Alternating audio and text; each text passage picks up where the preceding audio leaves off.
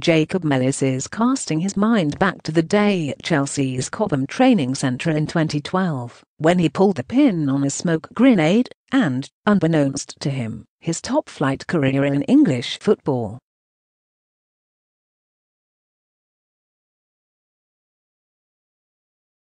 It was just a normal training day, he recalls, slowly swivelling in his chair in a Marylebone office in the heart of central London.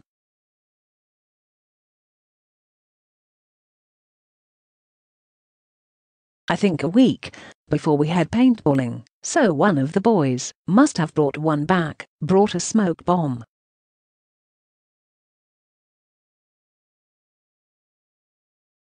The boy in question was teammate Billy Clifford, and even nine years on the story is well known, if a little light on detail.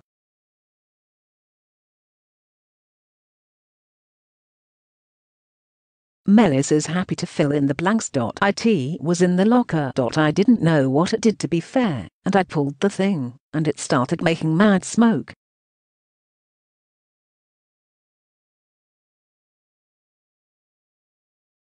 I was trying to open the windows, but obviously the fire alarm went off. So I was like arg, no. Neil Bath head of youth development asked who did it.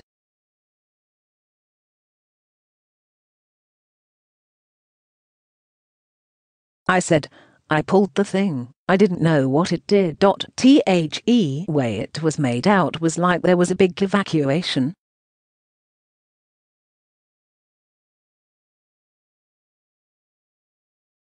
It wasn't like anyone came to harm, or anything like that, it was just a stupid prank gone wrong.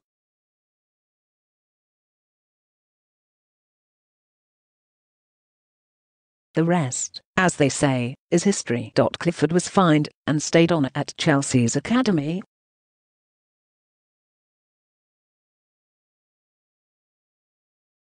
Mellis did not. There is one significant detail to his departure, however, that he wants to set straight.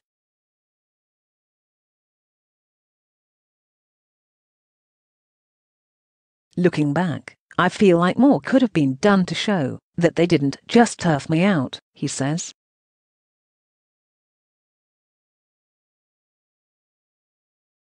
I feel like, since then it's been like, oh, he got sacked. I never got sacked. With me, through all the years I've always just let people think what they want to think.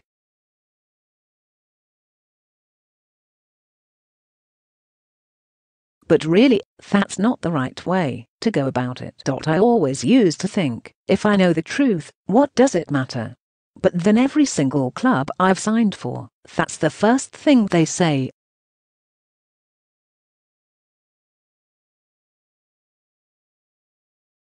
Oh, he got sacked. When you're 20 years old, you don't really think about the future.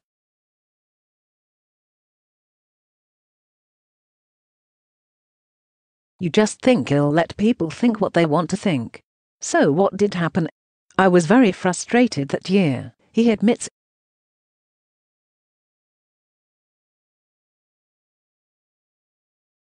Carlo Ancelotti said go off on loan, and next season you are going to be with us.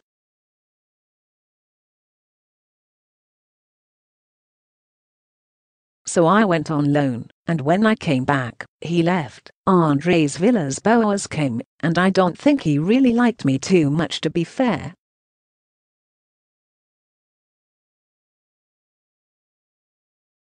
Say someone's injured, younger players would go in the first team instead of me, so you get that feeling.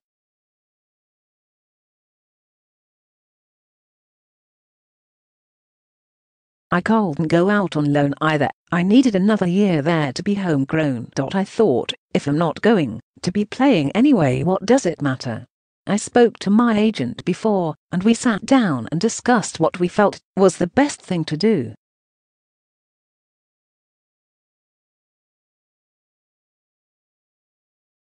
He said, I think we should mutually agree to leave and go sign somewhere else. Its time, you're 20.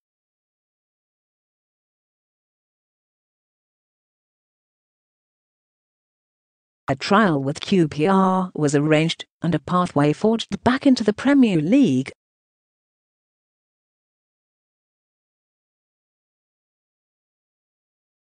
Again, Mellis showed promise, netting in a reserve team friendly against West Ham.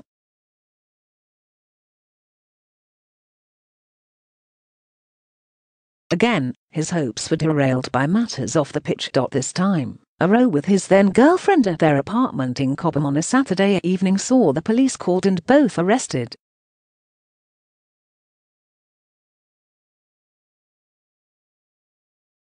The headlines on Monday morning painted an alarming picture that once again didn't mirror up to the reality.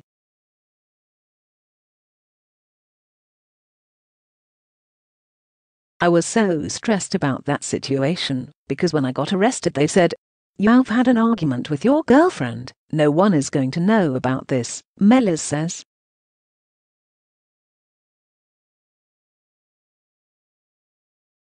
They let me out. They said, Yeah, I've got to go out the back gate, because there's press here, there's press at your house, so don't go home.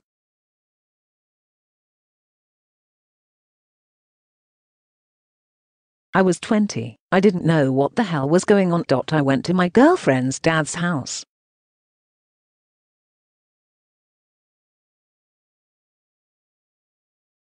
And we just stayed there for a little bit. Her parents reading that and my parents reading that. They're thinking what the hell is going on.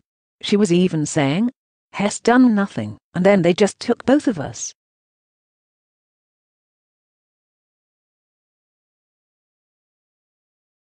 They said they had to, because it was a domestic disturbance. And on the front page was Blood A Brawl.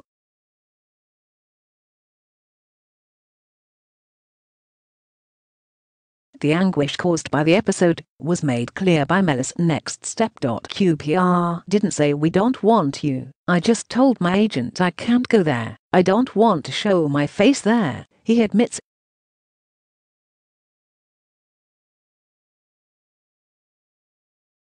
am training with them, and am embarrassed. I don't really know any of the players.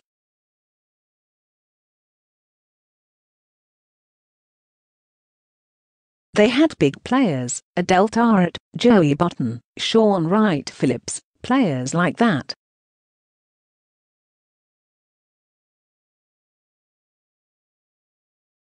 I thought, him not going there. He was like, you need to go, it doesn't matter about that.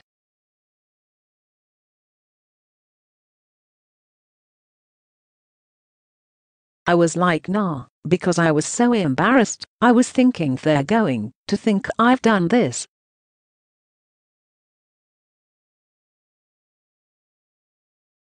I didn't go. So from there QPR boss Mark Hughes was like okay well, to be fair, he said, We've got enough trouble with Joey Barton. Mellis was born in Nottingham, growing up in a home with his mum, brother Niall and sister Georgia, with his dad still in the local area.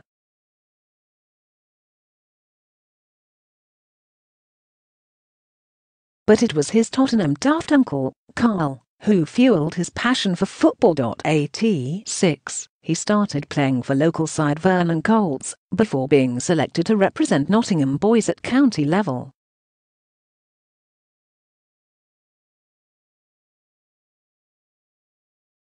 It was here he was spotted by Sheffield United at the age of 10. He spent six years at the Yorkshire club before, against the wishes of manager Neil Warnock, he made the move to Stamford Bridge, Chelsea beating the likes of Manchester United and Liverpool to snap up the 16-year-old prospect for pounds 1 million.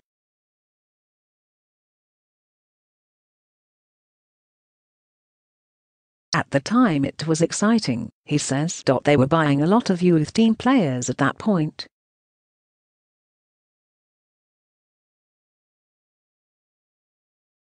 I just backed my ability. Everyone is telling you not to go there, but that kind of made me feel like more I want to go there and show what I can do.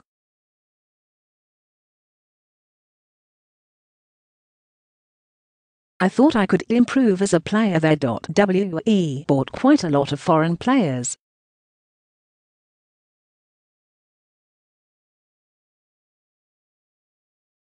There was Fabio Borini, Patrick Van Aanholt, Jeffrey Bruma, they were all bought at the same time as me.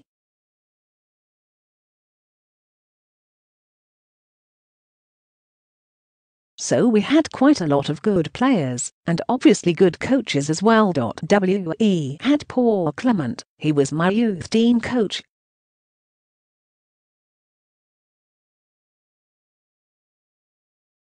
Brendan Rodgers was the reserve team coach. Looking back now, at the time you were just there, so you don't really know, but the coaches were top coaches.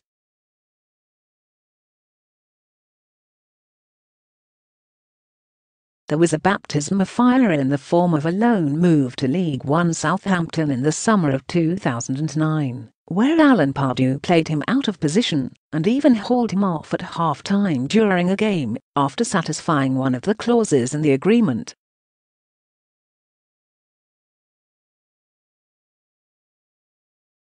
That was the first chance in men's football I got, and it was a big wake-up call, he admits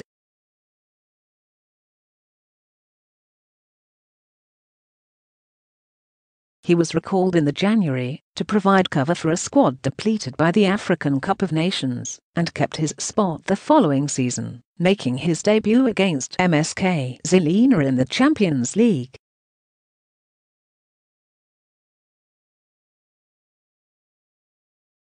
I wasn't supposed to come on that day to be fair, but then John Obi Mikel was warming up and he felt something in his hamstring, reveals Mellis.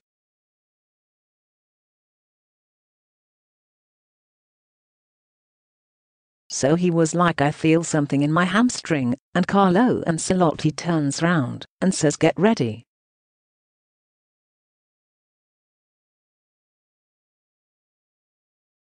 I was like wow. It was a blur, to be fair. I was only on for a short period of time, but running on and in the Champions League, at the time I didn't realise how big it was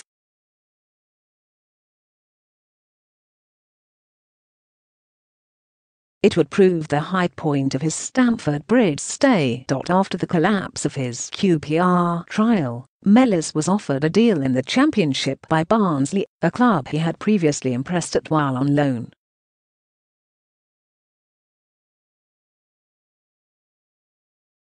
The faith shown by manager Keith Hill and assistant David Flitcroft was repaid as the midfielder stood out in his first season back in the second tier but navigating the lower leagues has been far from plain sailing, not least his time at Blackpool, where he was one of just nine eligible players in Jose Riga's squad on the morning of the first day of the 2014-15 season.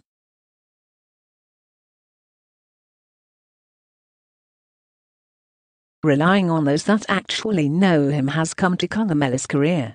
Flitcroft has been part of the managing setup at four of the clubs he has since signed for.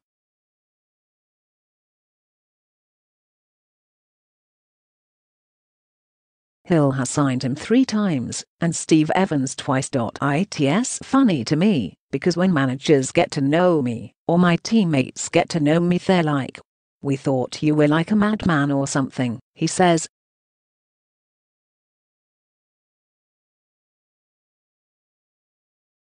But really, say I wasn't playing, I wouldn't kick up a fuss. I am not one of those players that will go and speak to a manager and say, I want to play.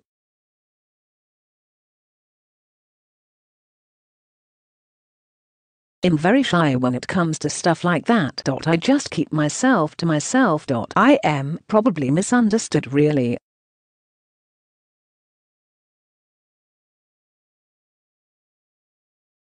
They probably thought, Hess going to be causing trouble. But it was never like that.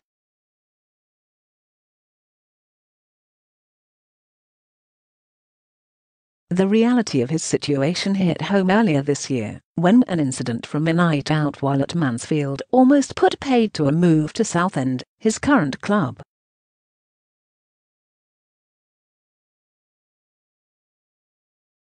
A night out with teammate Diane Donoghue ended with both arrested for assault and GBH,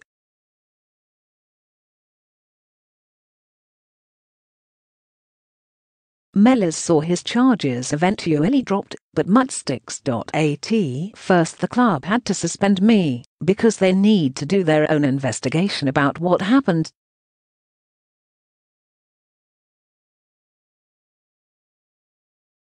It's another one where it looks bad again, he says. But after a week they said we've got pretty much the facts of what's happened, and they've brought me back in.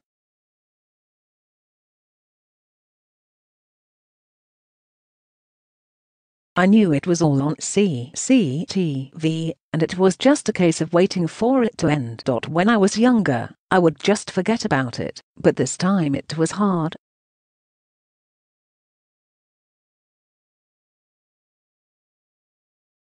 I chose to go to Southend because I wanted to play football and I wanted to keep them up.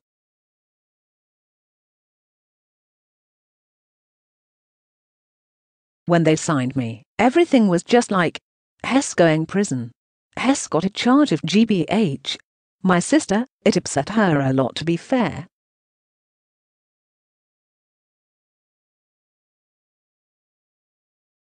Even the manager he asked me. The club didn't know what was going on, so they still thought I had this case.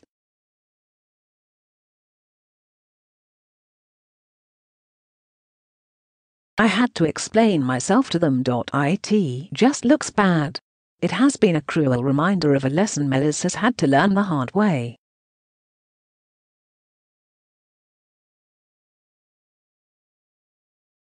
If you don't know the facts about something, and nobody has ever said any different, I feel like people are still going to think that, he says,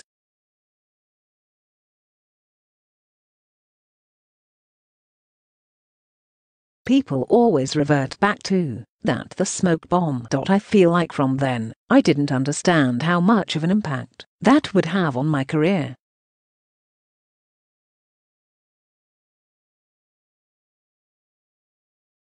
I thought people would just think, oh yeah, it's cool, and it just be forgotten. But obviously, nothing is ever really forgotten, because every time I sign for a new team they'll just say pressing his finger into his palm this, this,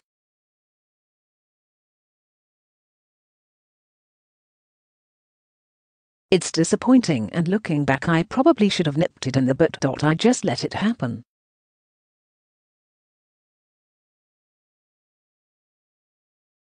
What advice, then, would he have for his 20-year-old self, with all he has had to endure today? It'd say come out and speak.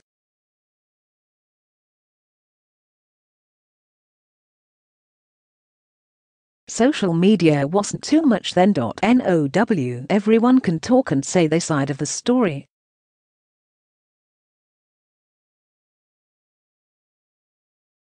I would definitely say, get my side of the story out, rather than just let it happen.